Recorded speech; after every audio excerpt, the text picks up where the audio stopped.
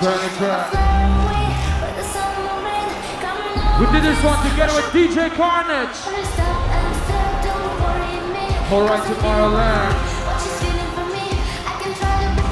If you know the lyrics to the song, let me hear you sing that shit along. Ooh.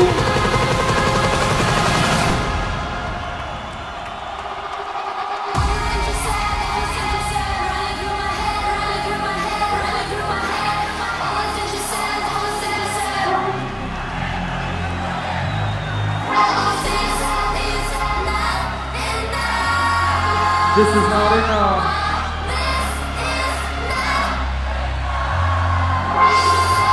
Yeah, yeah. Okay. Okay.